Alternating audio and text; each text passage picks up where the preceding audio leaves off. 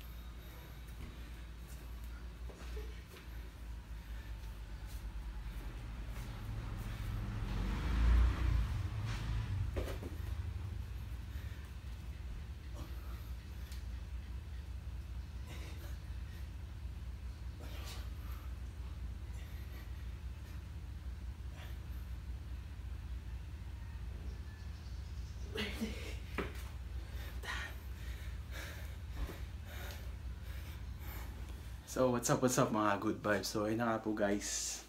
Nakapag-push up challenge na ako. So, andito tayo sa kitchen. Tingnan nyo, pump na pump naman yung braso ko. So, naka 200 push up na tayo. Grabe yung pawis ko. Ah, matindi rin yung warm up natin. Nagplancha tayo na nung uniform na asawa ko. So, guys, ah, thank you, thank you nga pala sa panonood ng aking ah, YouTube video. At sana ah, gawin nyo rin itong 30, 30, yung one man push-up challenge ko na 200. Kung hindi nyo kaya 200, kahit 100 lang, okay lang yun, guys. And then, uh, always remember, be the strongest version of yourself. Every day is a chance to get better. And, uh, 1 Corinthians 10.31 Whatever you do, do it all for the glory of God. Let's go! Thank you!